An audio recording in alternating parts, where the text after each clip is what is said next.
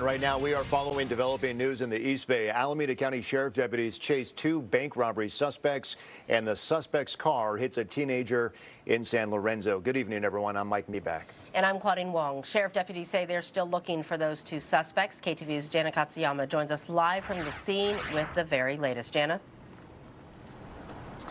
Well, let me tell you, this has come as quite a shock for the people who live in this area. I want to pull away here so you can kind of see this neighborhood, and I'm going to have Tarek, our photographer, just kind of pan. This is a residential area where neighbors say there are a lot of families, and we're right at the intersection of Via Cordova and Via Granada. Now, if you go back over towards this intersection, you can see where those hedges are.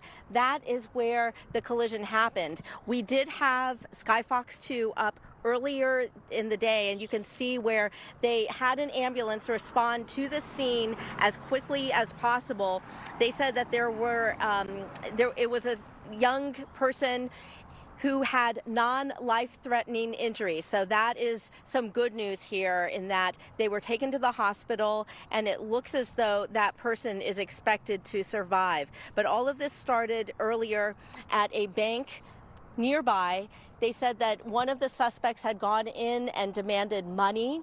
It appears that they left without getting money, but they got into a vehicle and then took off.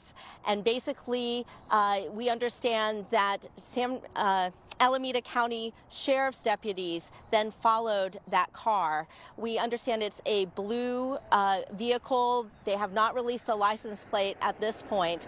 But if you come back here live, you can see there's a lot of traffic on this street. A lot of the neighbors say many of the people use this as a major thoroughfare, almost like a highway going through here. And unfortunately, there was a young person who was hit right over there. We are trying to get more information from authorities. Uh, both the uh, CHP was here as well as Alameda County Sheriff's deputies, but certainly something that has shaken up people who live here in this neighborhood.